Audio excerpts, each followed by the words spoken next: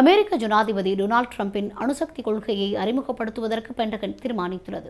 அதன்படி அடுத்த வாரம் குறித்த அணுசக்தி கொள்கை அறிமுகப்படுத்தப்படும் என்று பென்டகன் தெரிவித்துள்ளது. இவ்வாறு இருக்க பென்டகனில் இந்த நடவடிக்கை ஆயுத போட்டி மற்றும் அணுகுண்டு மோதலை தூண்டிவிடும் என விமர்சகர்கள் எச்சரித்துள்ளனர். ஏற்கனவே கசிவடைந்த அணுசக்தி கொள்கை வரைவின் பிரகாரம் தந்திரோபாய அணுவாயுதங்கள் என்று அழைக்கப்படும் குறைந்தபட்ச விளைவை ஏற்படுத்தும் ஒரு புதிய வகை அணுகுண்டின் உருவாக்கத்திற்கு பென்டகன் அழைப்பு விடுப்பதாக தெரிவிக்கப்படுகின்றது. இவை வழக்கமான ஆயுதங்களுடன் வகையில் வலிமை வாய்ந்ததாக இருந்ததாகவும் வரையறுக்கப்பட்ட விளைவை ஏற்படுத்தும் வல்லமை கொண்டவை என்றும் கூறப்படுகின்றது.